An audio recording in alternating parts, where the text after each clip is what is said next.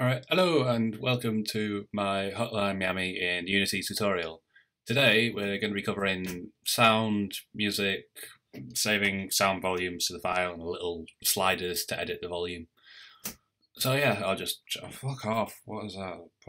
That's new. This pause. Okay, that was oh that was why. There we go. Sorry. Uh, yeah. Let's uh, I'll just give you a quick demonstration. So play, play, and you can hear music, picking up sound, weapon sound, boom, boom. Punched him out, just like Matt Tyson. yeah. And as you can see, yeah, weird. Get rid of those. And as you can see, there's like a little sliders, so I can turn that down, reduce down, and when I press escape, no volume. Yeah. So yeah, I will quickly, I will show you how this is done. So basically, first we've got the pause menu, which controls the volumes and the saving of file, the saving of the data, and the GUI, basically. So I've got the GUI stuff, like for the scaling, which you've seen before. Got some GUI styles for buttons, which aren't used anymore, actually. I don't think. No, I use text, so I should probably get rid of the other two. Sorry, this is just because I copied the code over from Loud or Quiet because I had similar systems in place.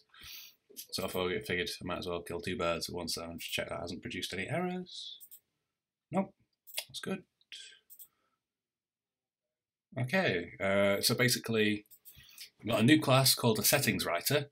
Well, before, well, just to rewind a little bit, you got to import these three. These three are for basically taking care of uh, writing to files and reading from files. Uh, I think they were they were the same ones used in the uh, high scores and knowing if we'd unlocked a level. So that's the same. Uh, we've got a boolean, which is basically just if this is true, it'll stop time and display the GUI. And if it's false, it won't. Uh, GUI style just controls what the GUI looks like. Uh, settings writer is a class I've written, which is just is a private class just below this. So I'll show you that basically controls whether it, uh, but basically just controls writing and reading from files. Uh, we've got two static floats which are public, basically so any file can access the volume uh, values and it'll be the same. So yeah, uh, I think I, this is just does. I think this just fixes a bug. I'm not quite sure what it does, but it's something to do with the serialization. So it just leave it as it is. I don't know what, quite what it does, but it works because I found it on a bug report which I used to fix a bug. Anyway, so got a new settings writer, and this will basically just output. It's more of a convenience thing. It'll output as an error, but it's not actually an error it basically just shows you where the file will be written to. So in my case, it's in the application support folder, but I'm on a Mac. So if you're on Windows, it'll be somewhere on the C drive and it'll save it as a someone settings.dat and it'll tell you if the file exists as well. And basically on the start, it checks if the file settings.dat in the persistent data path, which is a folder that the game can write data to, exists, then it'll load it, else it'll create a new one from the values half uh, 0.5 and 0.5. And yeah. And then it'll check if the if you press escape and pause is false, it'll set it to true and stop time, else it'll stop it'll set it to false and set time to it'll re-enable time so enemies can move and whatnot. And it'll set the volume and save the volume changes if you've made any. So uh, I'll explain it more how it saves when I get down to it. But yeah, uh, set volumes. All right. Uh, this basically just finds all the audio sources in the, in the scene, and then it'll check if the game object with the audio source has the music controller. It'll use the music value, else it will just set the normal sound effects value uh, yeah, that's pretty much it. It just loops through all of them. This for each will just take every audio source in here, so you don't have to do for int equals whatever to the end. So that's good. Uh, GUI basically has the GUI scaling pretty much normal stuff. Uh, but it has if paused is true, it'll draw a box just as a background and then have a label for the sound effects and the music. But we also have a new thing called a, G- a GUI horizontal slider, which, as you saw here, there, here, play, play, basically horizontal slider. You slide, uh, and it'll go between a value. So in this case, it's between zero and one because that's what the audio sources use for volume. So yeah, so basically this sets the SFX val to whatever. It's not like specific to what it is, but it'll just give you a value between zero and one that's relative to where you've moved the thing. So it takes a rect, the value you're changing, and the limits, so in this case 0 and 1, and basically it'll return a value which you set to the SFX value. And if we go back up here, once you've made the edits, it, it sets the volumes, just because it the volumes it be this is I think this is more efficient to do it than having the volume check having it each individual object check if the volume is different so just say set once, but uses a bit more memory because it has to grab the uh, audio sources. Yeah, and now we get onto the settings writer class, which basically uses a file path called of application.persistent data path, which is where your game can write to data to on the hard drive, as well as the settings.dat file, which is basically just a file. It stores this class settings data, uh, which has just two floats, which for sound effects and music, and basically it'll create a binary formatter and creates a file at the set the location, so persistent data path plus the file data path on the end, and then it'll create a new uh, on the loading one, saving one, sorry. It will create a new settings data class and assign the values from the static uh, values in the pause menu class, which so we don't need to assign anything. Uh, send the pause menu class through to this uh, class, so we can just grab them straight away, which is kind of convenient. Then it'll serialize, serialize the file. Don't forget this bit because this is basically just it writes this writes the data to the file, and then you can just close the file, pretty much. And then it's a similar thing for load set load the settings, so it'll find if the file exists. So you've actually got so if the file exists at the location, so persistent data path and file path, it'll basically create a binary formatter and open the file at there and cast it as the settings data. So it'll read it as if it was that, and that allows it to get the values back out. And then you just assign the values to the pause menu. You can do that through just saying the same way as you read them, because they're static, they'll all be the same. So you don't need to specify the instance of a class because they're static variables. And if the file doesn't exist, it will just save the settings. So it'll go back to here and write a file from the default values of the pause menu, which is just 0.5 and 0.5. Then it'll load them again just to make sure that everything's running smooth, pretty much. Okay, and that was the longest bit of class that we got. So I'll just show you.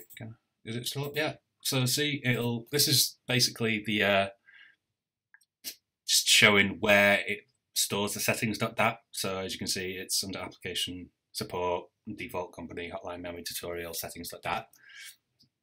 And I don't know why that's so pain in the ass. Hmm, whatever. I don't know. It doesn't crash the game, so I'll be fine. So yeah. And basically, the music controller,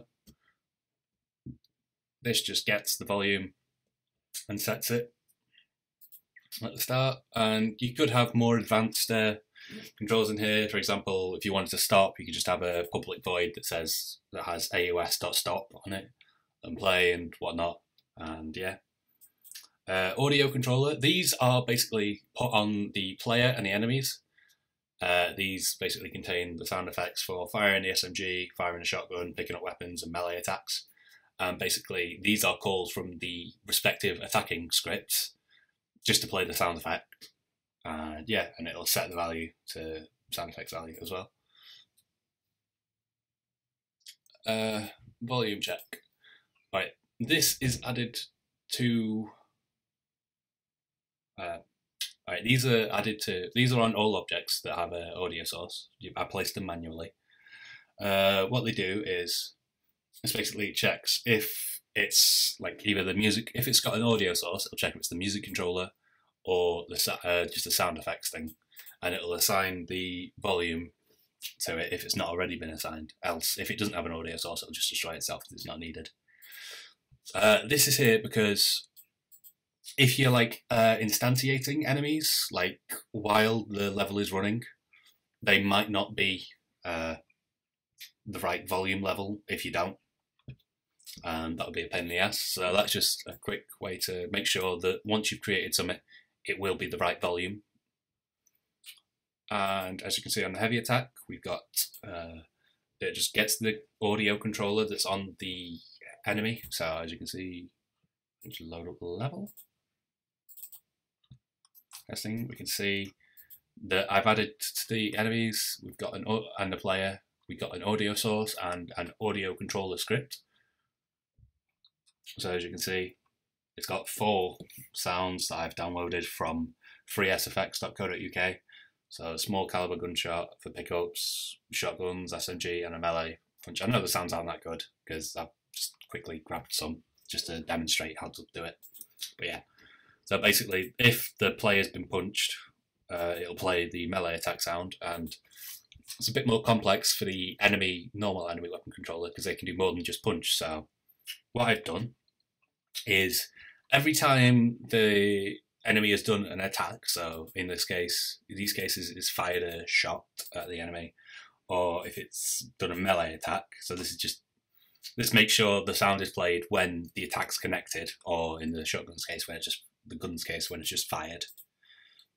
It has a uh, decide sound effects uh, bit of code, It basically checks does the enemy.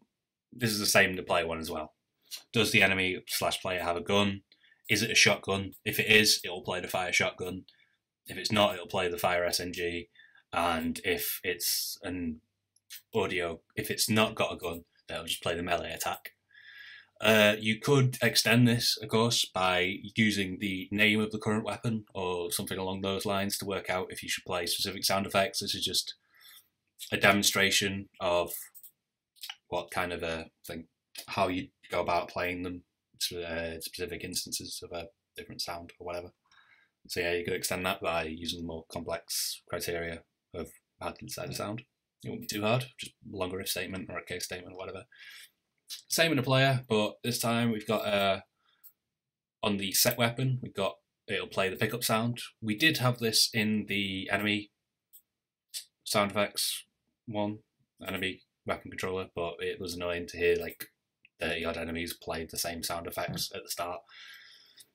So basically, we've got pickup weapon sound, and then we've got the same decide sound effects, which gets the same audio controller, and yeah, we've got uh, decide SFX here and here and here. Uh, probably should have a break window sound, but we don't because I was just trying to be quick with this tutorial. Okay, so that is pretty much it. But now I have a new thing to just quick plug for my game, Loud or Quiet, which I've released a new uh, update for, which is the 1.2 update. So it show. So I'll just go quickly, dashboard, loud or quiet. Uh, basically, it's the 1.2 update, which I need to do uh, more screenshots for because they're outdated now. Basically, I've remade all the levels with a better level making technique, which makes them look better. Fixed bugs, made sprites look better. What new weapon system, better pathfinder. I've fixed some pathfinding bugs and like hints and objectives, so whatever. So go play that. It's really good. I hope. But yeah, it is really good. Go play it. It's free anyway. What you got to lose? So yeah, it's on Mac and Windows as well. And yeah, that's it all. So I'll just quickly go over the uh, pause menu thing if you'd like to screen like pause now and then like just write down the code because that's how I help I learned how to do stuff. So yeah, so start update set volumes on GUI. The class settings right. Remember to have class uh, just here, just so it was right. This could be a separate class, but I just put it in here because it's easier because it's only really referenced from the pause menu. And the settings.data, uh, music controller, audio controller, volume check. The attacking, basically just the code to play the sound is literally just that, but you have several different methods to do it. So yeah, that was audio. Cheers for watching. Like, comment, subscribe, all that jazz. If you've got questions, errors, whatnot that I've missed, leave a comment I'll help you. Yeah, bye.